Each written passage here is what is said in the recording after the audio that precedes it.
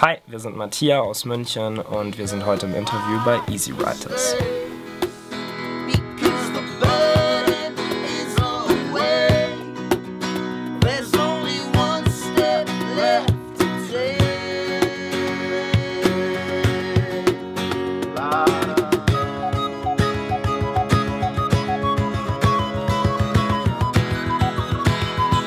Habe die Ehre und herzlich willkommen zur neuesten High Five Ausgabe, die erste seit der Sommerpause.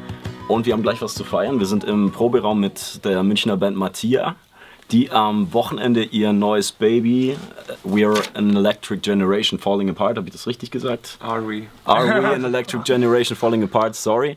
Genau, hat das Licht der Welt erblickt. Die Jungs haben das ganze Stil echt mit einem Gig im Münchner Gastzeig abgefeiert und äh, war ein turbulentes Wochenende, Jungs. Ähm, wie waren die letzten 72 bis 96 Stunden für euch?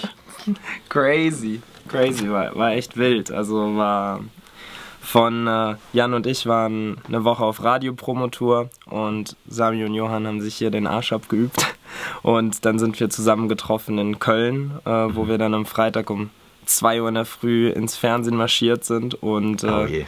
Dann da in der ARD beim Morgenmagazin spielen durften, was echt eine mega Ehre war. Dann ging es direkt danach über eine total sperrende Autobahn zurück nach München und direkt in München angekommen, keine Sekunde Pause gehabt, zum Gasteig gefahren, gesoundcheck gespielt, wieder zum Proberaum. Also man sieht, äh, es war sehr, also es war so. Äh, Du hast einen Cut, oder? Ja, ich bin, ich war so müde, dass ich einfach gegen eine Tür gelaufen bin. Jetzt hättest du was Cooleres erzählen das, müssen. Ja, ich weiß, aber ich bin ehrlich, also daran kann man sehen, wie anstrengend das war, die letzten Alles Tage. klar. Rockstar Life at its finest. So muss es. Und nachdem wir uns ja jetzt im Proberaum bei euch befinden, ähm, kann man gleich auf ein Thema eingehen, das man jede Band fragen muss, und zwar das Thema Songwriting. Das macht auch jede Band anders. Wie läuft das bei euch? Ist zuerst der Text da oder machen die Instrumentalisten was und dann, okay, mir fällt was drauf ein?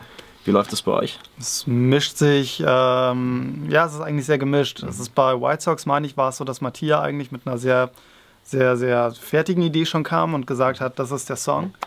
Ähm, bei anderen Songs, mh, zum Beispiel Fifth Avenue, ist es so, dass die eher gejammt wurden, dass wir da wirklich ähm, auch noch mit wem anders, mit Janko zusammen, haben wir ähm, zu fünft Musik gemacht und gejammt. Auf einmal war dieser Song dann da und genau, es ist bunt durchgemischt. Warte.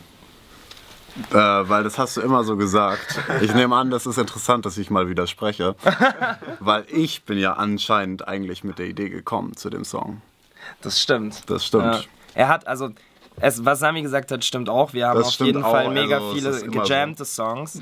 Aber bei Fifth Avenue kann ich mich auch daran erinnern, dass du mit, mit einem Chorus gekommen bist. Aber es ist halt auch oft so, dass wir, wir haben so, ähm, jemand kommt mit irgendeiner Idee, zum Beispiel mit einem Part. Und, Mhm. Und, dann, dann, wird's am, vollkommen geändert. Genau, und dann am Ende des, äh, kommt ein ganz neuer Song drauf. Der Part ist drin, aber überhaupt nicht irgendwie als das, was er gedacht war. So. Genau. Also, wie Sami gesagt hat, das ist total wild. Und mal geht's in kürzester Zeit, mal dauert es Monate oder Wochen. Ist es bei euch auch so?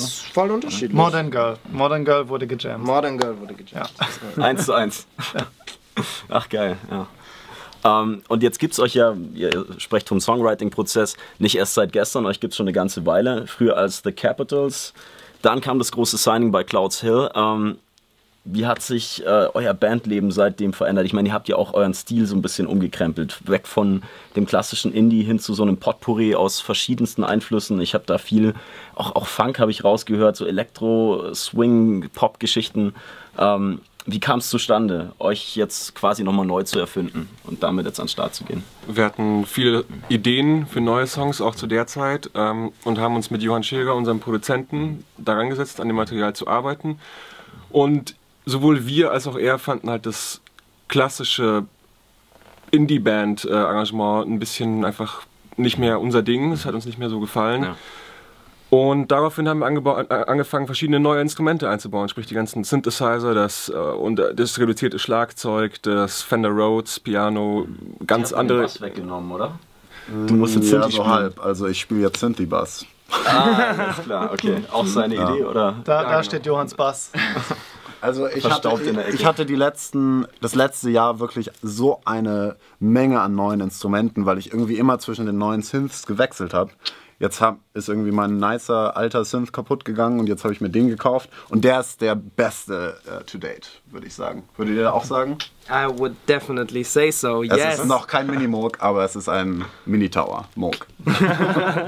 Okay, sehr nice, sehr nice. Und nachdem ihr jetzt auch viel rumprobiert, ihr spielt, glaube ich, alle mehrere Instrumente, oder? Ähm, es gibt ja oft, das ist jetzt so meine Theorie, bei Bands das Problem, auch wenn man ambi- ambitioniert ist und was kann, äh, dass man Gefahr läuft, zu viel zu machen. Also dass jeder Einzelne sich äh, zu viel rausnimmt quasi und damit den Sound überlädt. Äh, Musstet ihr das erst lernen oder wusstet ihr immer, okay, ich weiß, ich muss weniger Hi-Hat spielen oder ich muss meine Gitarre so ein bisschen ja, zurücknehmen oder wie lief das bei euch? Das Wir mussten es wir, erst lernen. das haben wir tatsächlich von, das hat uns unser Produzent äh, reingedrückt. Er hat dann zum Beispiel, wie gesagt, der E-Bass wurde ausgetauscht gegen den Minimoog, um von dem klassischen E-Bass-Spiel wegzukommen. Samis Schlagzeug wurde um die Toms und die meisten Becken erleichtert, um halt den Groove auf den einfachsten Mitteln zu spielen, damit ich mich an der Gitarre nicht äh, überspiele und verdudel. Hat mir einen Fender Rhodes äh, hingestellt. Äh, genau. Matthias hat dann auch äh, viele neue Dinge oder hat zumindest lernen müssen, die Gitarre anders zu spielen, hauptsächlich. Und die Flöte auch anders einzusetzen als früher. Also wir mussten da schon wirklich dran arbeiten. Aber spannend, oder? Ist, also, ist super geil. komplett was. Neues auszuprobieren. Reißt einen richtig schön aus der Komfortzone. Das glaube ich. Und wenn ihr jetzt auf Tour geht, ich meine, neues Album ist fertig, äh, das wird ja irgendwann kommen. Wer von euch ist so das Mitglied, wo man sagt, läuft Gefahr, die Rock'n'Roll-Klischees zu erfüllen? Sex, Drugs, everything else. Johann. Wer, wer wär's bei euch? Johann? Im Moment, äh, Johann, voll. Ja, wie im Moment, voll. voll. Immer schon. Ja, ähm, wir, ich weiß nicht. Also wir sind, ich würde mal so sagen, wir haben alle äh, gerne Spaß am Leben. Aber es ist, wir sind tatsächlich jetzt gar nicht so die Band, die so sich nach dem Konzert so ultra ins Delirium ballert, also, sondern jeder hat seine Art und Weise ähm, abzuschalten und seine Art und Weise irgendwie zu genießen und auch mal dann drauf zu machen. Aber ähm, gibt jetzt nicht so einen typischen unter uns, der da so sich total wegballert. Man könnte höchstens sagen, wer es am wenigsten ist.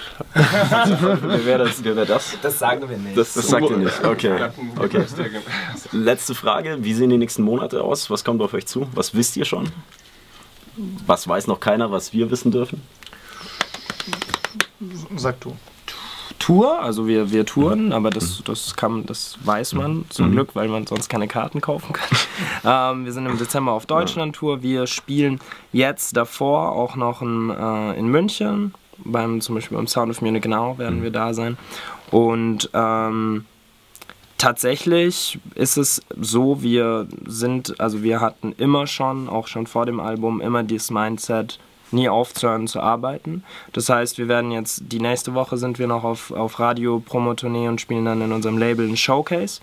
Und danach, wenn wir wieder im Proberaum angekommen sind und wenn das Album halt sich jetzt hoffentlich gut anläuft, werden wir weiterarbeiten an neuen Ideen und werden gleich wieder anfangen, unseren Songpool zu erweitern, an unseren Live-Shows, die Tour vorzubereiten und für Album 2 zu schreiben. Wunderbar. Das klingt ambitioniert. Da würde ich sagen, haben wir es damit. Jungs, vielen Dank für, für die Zeit, die ihr euch genommen habt. Und Danke euch. Viel Glück für die kommenden Monate.